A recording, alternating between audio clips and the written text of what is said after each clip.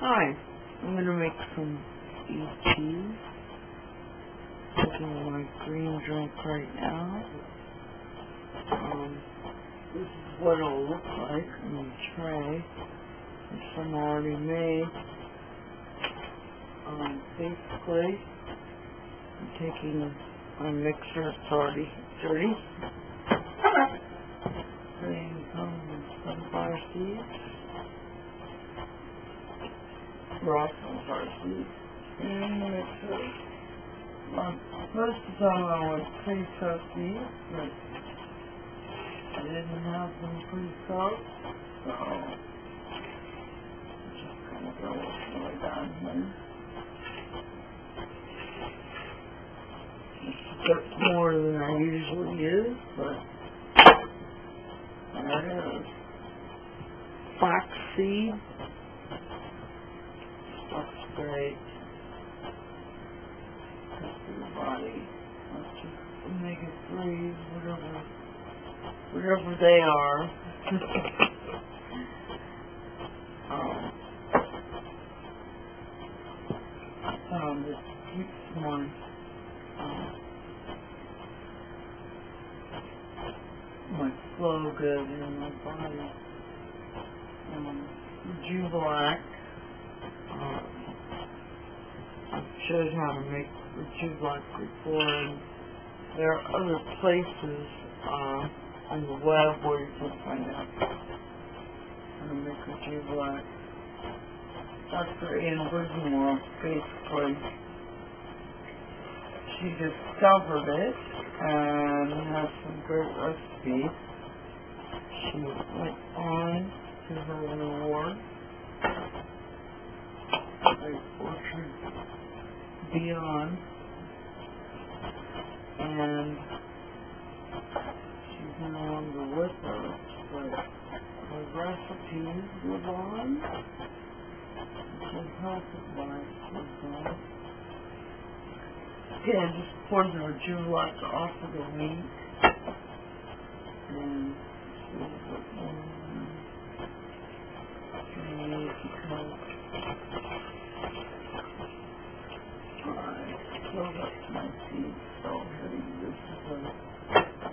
cider mix I'm using. And um, I'm going to put Take a foot.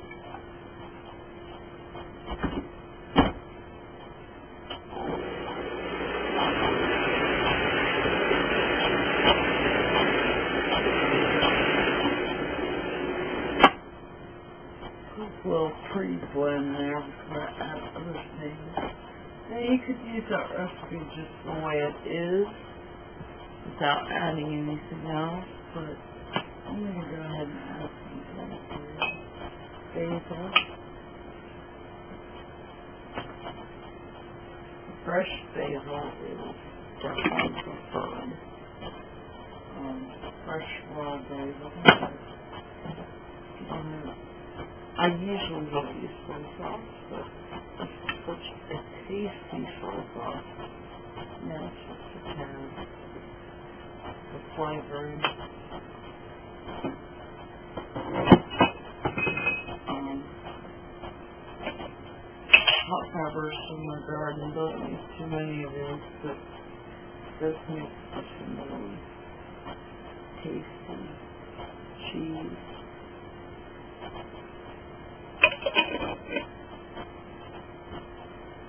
Um, a bit of. I that in the last batch. It uh, not think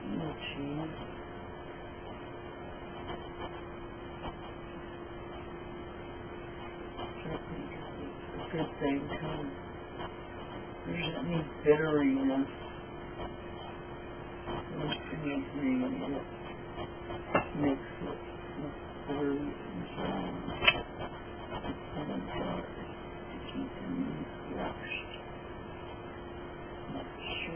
why that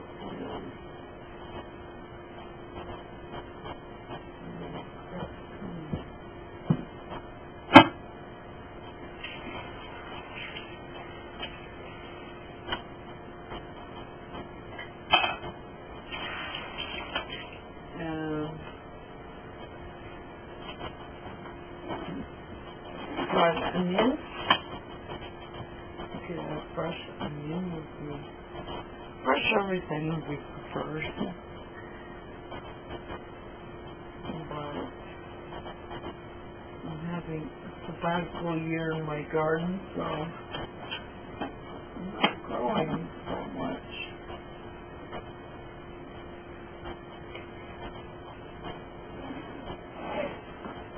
And garlic.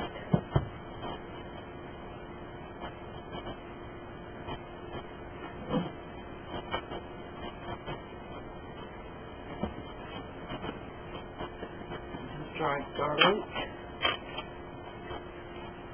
Got fresh out there, but I'm just putting those in.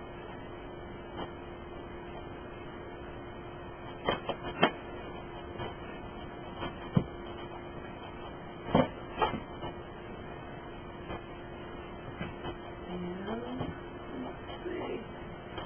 I'd like to put some chives on this one. Let me see.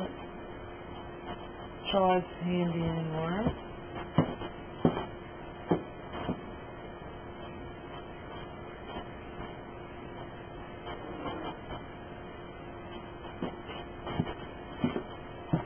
Chives from the garden. Chives are a great thing to grow because they have beautiful flowers and they come back year after year and basically you can make chive soup all winter long with just chives and some chive flowers. Oh great. Make little seeds in them. You could just keep propagating year after year and have a perpetual flower garden that produces the form of onion. And it up. Fiber mix.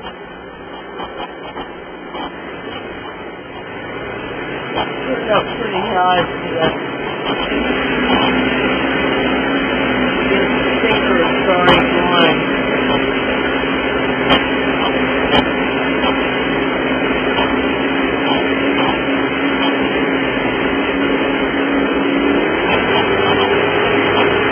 Thicker and thicker.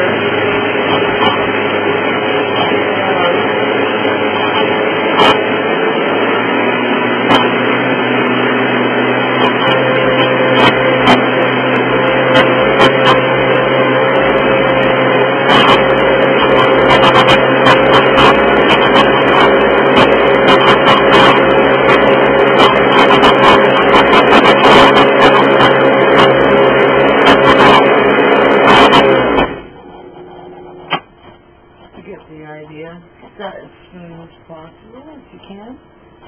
Then I spread it out on my um, Excalibur dehydrator tray, which basically looks like this underneath, but there are these cool uh, Teflon sheets you can get along with it that you add on top of something that's more moist and I took my cheese and spread it out.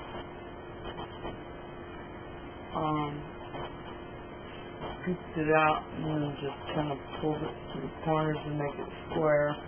So fit in the square Excalibur. I'll spread out. You can see about how thick it is. I don't know what that is. But eighth of an inch maybe, quarter of an inch. Fairly thick because you want your cheese to be a little bit soft from the inside.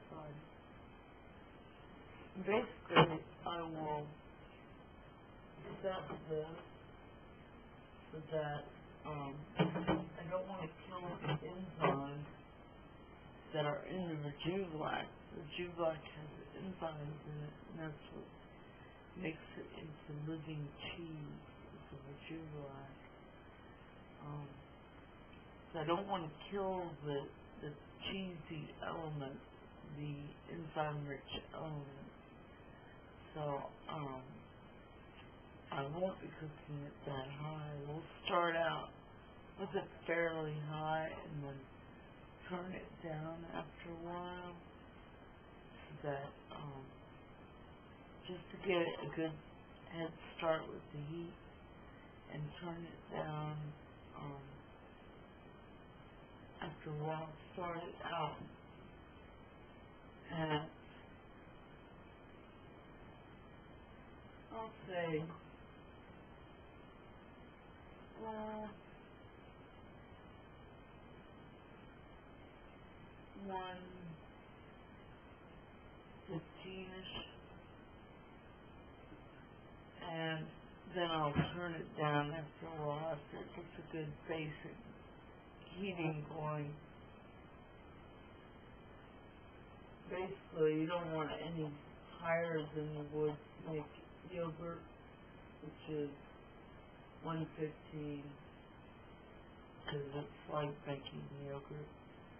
Um, we run all of our electricity off of, you know, alternative system, which is up here behind. It comes from our electricity, actually. We're hydrating and, and blending things from the power made by stream.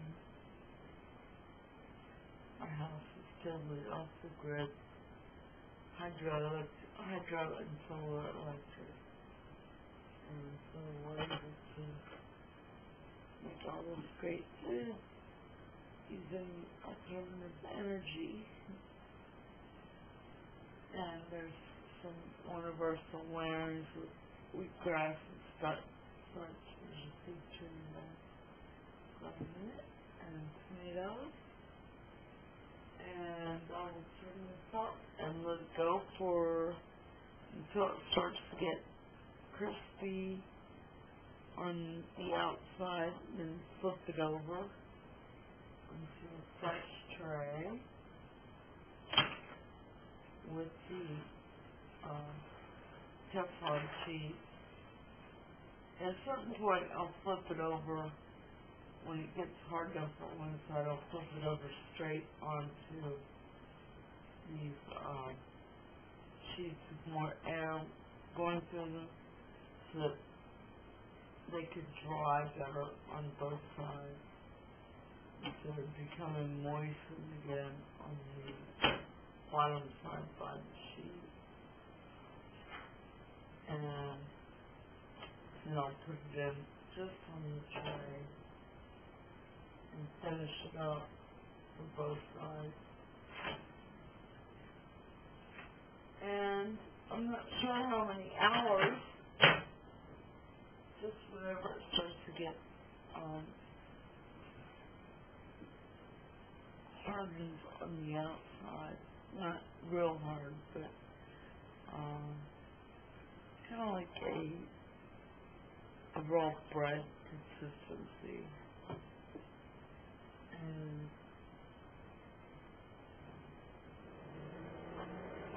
the stream running electricity. Uh, setting the timer at